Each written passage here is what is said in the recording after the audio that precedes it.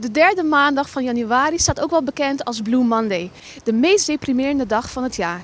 Maar is dat wel echt zo? Of is het gewoon een verzinsel? Ik vraag het aan Witte Hoogendijk. Hij is hoogleraar psychiatrie in het Erasmus MC. Blue Monday uh, zitten twee kanten aan. Enerzijds is die uh, seizoensgebonden stemmingsdaling ook een beetje seizoensgebonden media-aandacht die het krijgt. Maar anderzijds zit er ook een reële kant aan. Namelijk dat ongeveer 10% van de mensen er echt last van heeft. Waarvan een klein deel zelfs een uh, winterdepressie heeft. En als je je nou echt somber voelt op die ene dag, maar ook op andere dagen, wat kun je daartegen doen? Ja, dus als je een uh, somberheid hebt die echt gekoppeld is aan het seizoen, dan heb je waarschijnlijk last uh, van wat je noemt een winterdip. Ongeveer 7% van de bevolking heeft daar last van. En die hebben dan niet echt een winterdepressie, maar ehm, iets wat daartegen aan zit.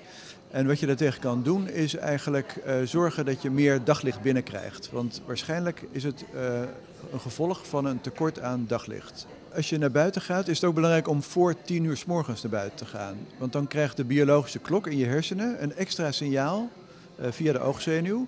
Van hé, hey, het is nu dag geworden, de ochtend is begonnen. Dus begin nu maar met het bijstellen van de lichaamstemperatuur en van de hormonen. waardoor je je beter gaat voelen. Nou, omdat die biologische klok een steuntje in de rug moet hebben, kan het ook helpen om je hele leven heel gestructureerd uh, te maken. Dus op hetzelfde tijdstip op te staan, hetzelfde tijdstip te gaan lunchen, et cetera. Naast alle nadelen van het grijze weer zijn er ook voordelen. Uh, namelijk, uh, je kan productiever zijn, want er is minder afleiding buiten. En je kan gezellig met vrienden binnen zitten, zoals wij nu doen. En lekker wat drinken, hebben wij ook. Dus we gaan er lekker van genieten. En binnen zitten.